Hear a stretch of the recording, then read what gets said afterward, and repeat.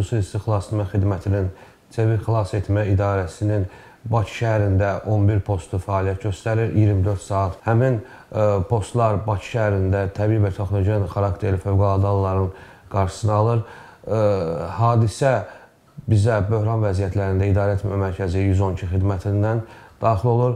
Hadisə əsasən xarakterinə görə bağlı qapı arxasında insan faktoru, liftdə qalma, yol qəzası, uçqun və s. hadisələr bağlı bizə məlumat daxil olur deməli hadisənin e, miqyasına uyğun olaraq bizdə e, postlarımızda e, moto xilasedicilər fəaliyyət göstərirlər. Bir də e, Mercedes Sprinter və Nissan Patrol e, xüsusi təyinat avtomobiliyyat vasitələri ilə hadisə, əgər ağır hadisədirsə, onlarla biz hadisə yerinə gedirik.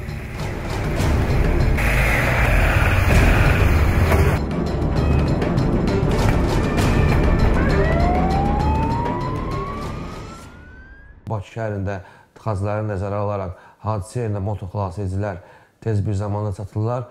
Hadisənin orada qarşısını alırlar. Əgər iri miqyaslı e, yol qəzasıdır, uçqundursa, belə hadisələr baş verirsə, e, bizdə 5 nəfərdən ibarət olan e, ekipaj Mercedes Sprinter markalı xüsusi avtomobillər vasitəsində hadisə yerinə yollanırlar. Bilirsən, hər hansısa bir vətəndaş zəng eləyib böhran vəziyyətlərində idarə etmə mərkəzinə 112 xidmətinə məlumat verir ki, mən e, çıxmışam evdən, qapımı külək örtüb bağlanıb qapı. Yəni bu hadisələrə biz çıxmırıq. Əgər həmin e, evdə insan faktoru varsa, hər hansısa bir körpə uşaq, yaşlı qadın, xəstə biz o, o hadisələrə çıxırıq. Adətən ə, e, bizim işə xanımlar cəlb olunanda ə, e, baxırlar ki, o peşəkar idmançı olsun, idman ustası olsun. Yəni bizdə ə, e, xilas etmə əməliyyatında xilas etmə əməliyyatı ilə məşğul olan xanımların çoxsu idmançıdır, yüksək səviyyədə idmançıdır, dünya çempionları, Avropa çempionlarıdır. Başqa mənə çox qurumlardan ə, iş təklifi gəlib, ancaq mən bu işi çox sevdiyimdən bu qurumda qalmışam da, 11 ildir ki, xidmət eləyirəm. Bağlı qapı arxasında xanımlar və ə,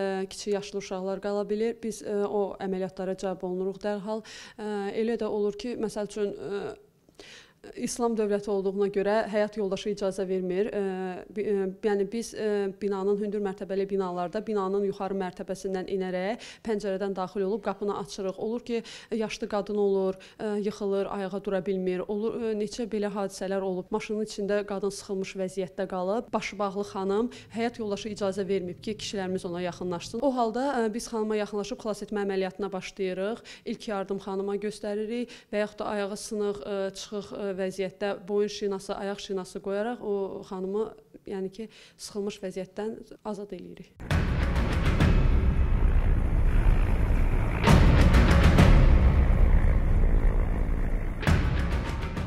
Valideyn düşür əvvəlcə aşağı evə çörək almağa, qapı bağlanır, evdə uşaq qalır.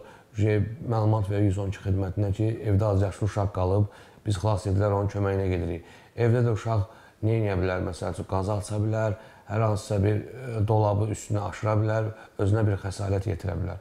Yəni biz xilasedicilər tərəfindən e, hadisə yerinə gedirik, e, əməliyyat şəraitini qiymətləndiririk, baxırıq lazımdırsa binanın pəncərəsindən mənzilə daxil oluruq.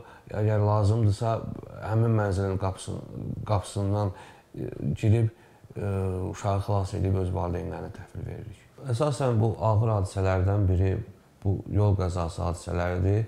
Yol qəza hadisələrində çox vaxt ya sürücülər olur, e, yol qəzasına düşür, ya da ki, yanında oturan sərnişinlər olur, biliyorsan, sıxılmış, maşında, avtomobildə sıxılmış vəziyyətdə olur.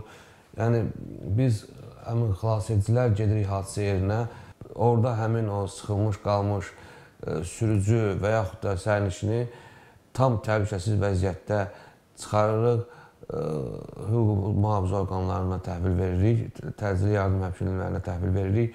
Biliyorsan ki, biz gələnə kimi, biz gələnə kimi vətəndaşlar kömək eləyib hər hansısa bir zərər çəkmişi çıxarmaq istəyirlər.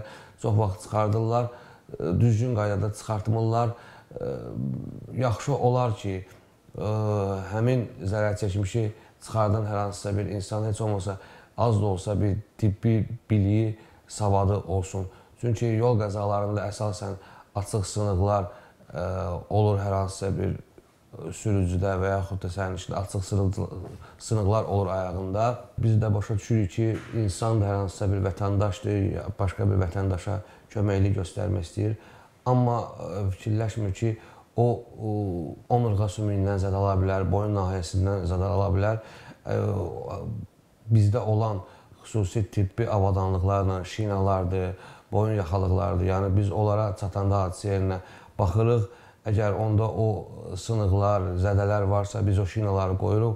Onunla oyna bir yerdə biz çıxardırıq zərər çəkmişik, tibbi yardım həkimlərinə təhvil veririk.